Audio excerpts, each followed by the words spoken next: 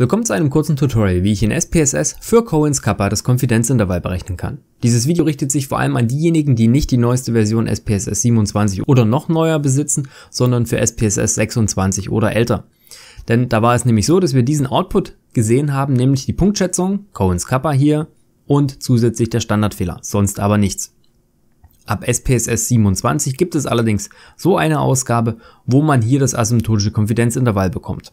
Und wie man jetzt dieses asymptotische Konfidenzintervall erhält, wenn man nur diese Tabelle hat, das werde ich jetzt zeigen, weil ich immer wieder Zuschriften bekomme, wie funktioniert denn das Konfidenzintervall, wenn ich nur diese Tabelle habe. Dazu brauchen wir nur das Kappa und den Standardfehler. Dazu würde ich empfehlen, eine Excel-Tabelle aufzumachen. Ich habe da schon mal was vorbereitet. Es ist nichts wirklich Großartiges. Also der Standardfehler SE, Standard Error abgekürzt, das ist hier die exakte oder mit mehr Kommastellen versehene Schätzung kann man sich hier auch mit einem Doppelklick nochmal etwas genauer anzeigen lassen. Und dann hier den Punktschätzer, den habe ich mal mit noch ein paar mehr Kommastellen übernommen. Sind aber alles Rundungssachen, die wir gleich sehen werden. Und dann habe ich hier die 95 und 99 Prozent KI, also Konfidenzintervalle. Hierfür ergeben sich folgende Z-Werte, abgeleitet aus der Standardnormalverteilung, also 1,96 gerundet und 2,58 gerundet. Das ist, glaube ich, nichts Neues. Das sind die Standardwerte, die immer gelten, wenn man diese Konfidenzintervalle zugrunde legt. Und das Einzige, was wir jetzt sozusagen rechnen müssen, ist zunächst erst einmal, ich habe es hier schon angedeutet, SE mal Z, also SE Standard Error mal Z mal dem Z-Wert. Also wir nehmen ist gleich den Standardfehler und multiplizieren den mit dem Z-Wert.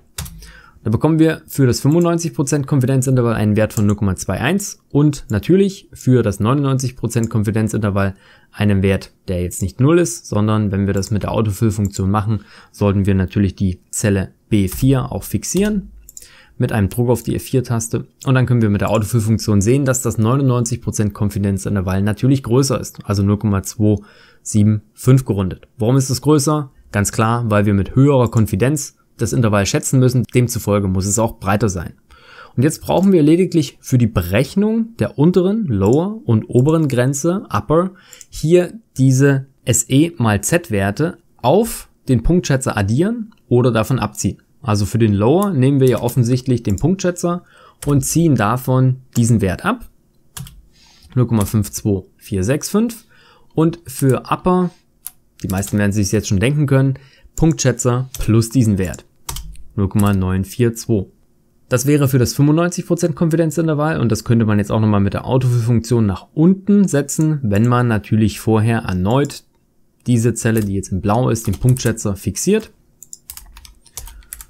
Und dann könnte man das nach unten ziehen und dann würde man für das 99% Konfidenzintervall hier einen 0,459 bekommen und für das obere, für die obere Grenze 1,008. Vorsicht, Kappa kann nicht größer sein als 1. Das heißt, das würde hier standardmäßig auf 1 gesetzt werden.